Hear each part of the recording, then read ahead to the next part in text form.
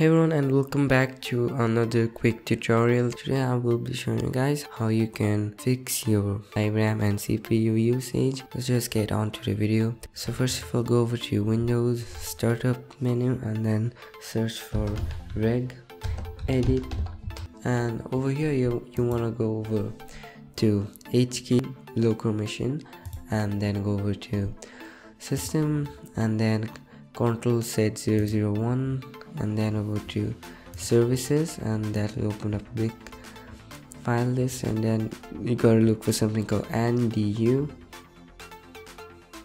and over there you're gonna find something called start and then you gotta change this value to 4 and then click on ok. And then restart your system and see if that works. And if that doesn't work can try another method. Try doing this. So you go over to run and services dot msc that will open up this. And here you're gonna find something super fetch. And and right now it's running. And its startup type is automatic. So you want to double click on that.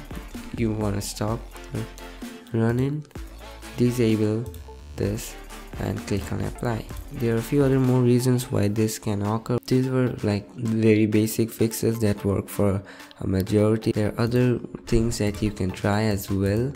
I will link a few like solutions in the description that you also might want to try and stuff that worked for other people. So yeah.